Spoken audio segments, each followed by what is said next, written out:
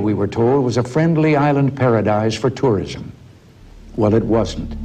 It was a Soviet Cuban colony being readied as a major military bastion to export terror and undermine democracy.